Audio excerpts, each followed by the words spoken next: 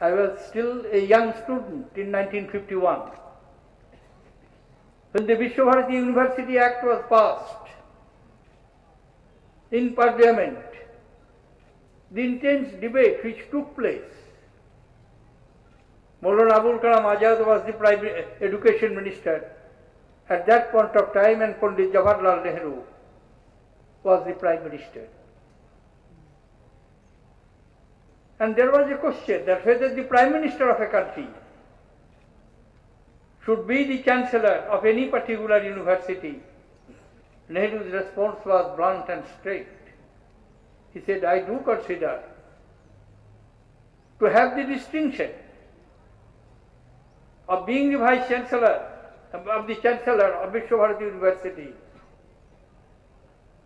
will not demean the prestige of Prime Minister. It will enhance the prestige and dignity of the Prime Minister of India. Until today, that tradition is being maintained. Except for a short break between 1977 to 1980, all Prime Ministers, starting from Pandit Jawaharlal Nehru to Dr. Manmohan Singh, have become the Chancellor. The short point which I am trying to drive at, that if we recognize Vishwabharati as an unique institution, we shall have to provide adequate flexibility in our system. If it is not there, we must rediscover it, we must reinvent it, and we must provide that flexibility. Because what I find after becoming the President of the Republic, I can candidly admit before you, I had no idea as the ex officio visitor what I have to do. Because my mindset, even being in the government for a very long period of time, and in parliament for more than four decades, my mindset was totally different. I thought that only a few institutions are there. But there has been a tremendous physical expansion of the higher education system in the 11th plan. Right now, when I am speaking before you, there are 659 degree giving institutions which are called universities. 659. 33,000 degree colleges, 2 lakh 86,000 students enrolled in the higher education, 30 NITs, 16 IITs, apart from the institutions of business management and other specialized areas. But if we want to have a uniform structure, uniform pattern for all these institutions, I am afraid we may not do justice to all of them. Yes, there will be certain categories of university. There will be certain exceptions. There will be certain unique institutions which we shall have to keep in mind while formulating them. Tagore himself mentioned while establishing the Vishwabharati University, I quote,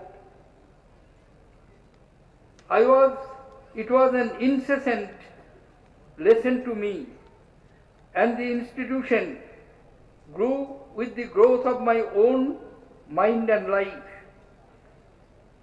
With the increase of its population and widening of range, elements have constantly been intruding which go against the spirit of freedom and spontaneity.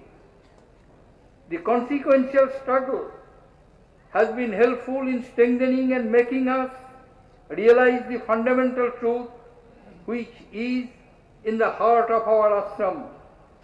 But that which keeps up my enthusiasm is the fact that we have not yet come to a conclusion and therefore our task is not a perpetual repetition of a plan perfected once for all. This institution should be a perpetual creation by the cooperative enthusiasm of teachers and students, unquote. This perpetual creation should be the motive force of the institutions. Once designed, once formulated, once laid out, architecture being put into place is not adequate unless we can adjust it, reinvent it with the passage of time, with the requirement of time. Educational system which was experimented here. Just now I, before coming here, I went to formally inaugurate Bhasha Vidya Bhavan. Very aptly it has been pointed just on a plaque while we enter on the left hand side of the gate. And most aptly, that knowledge cannot be confined within four walls of our domestic home. It can never be confined. Knowledge is constant. Knowledge is expanding. It is infinite. And if it is infinite, how could we confine itself to a one pattern, to a one structure, to one shape?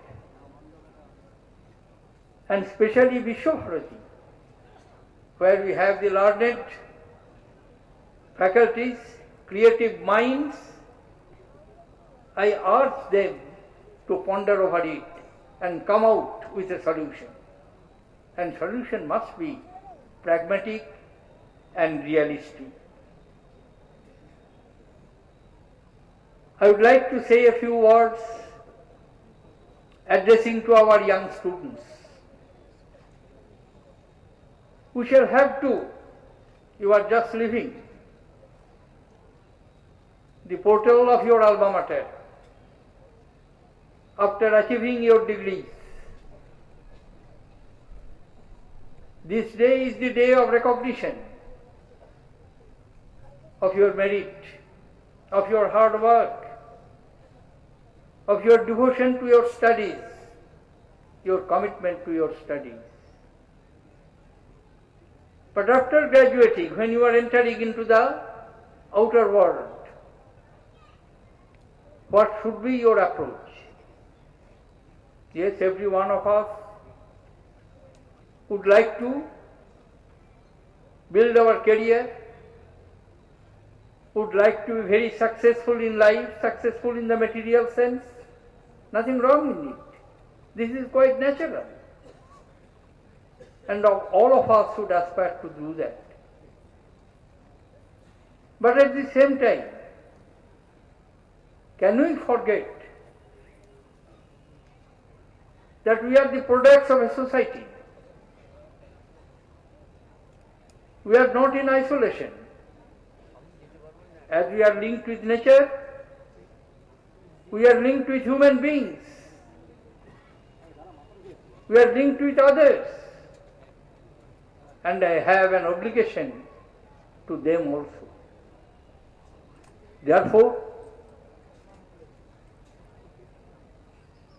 my advice as an elder to young graduates enter the outer world with courage, conviction,